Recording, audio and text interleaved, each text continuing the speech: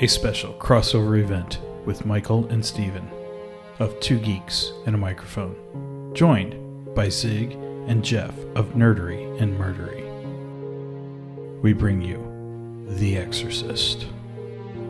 Join us as we explore both the novel and the film.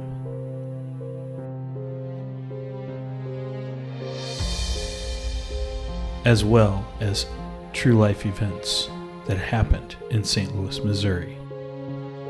Events at the house where the exorcism took place.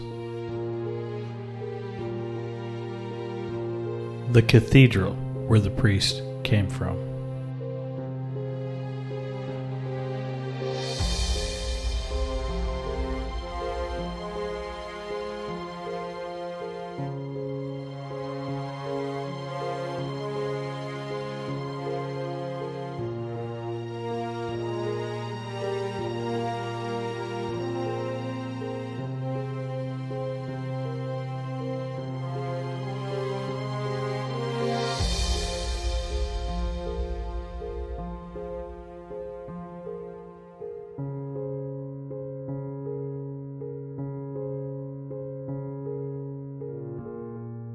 The hospital where the exorcism continued.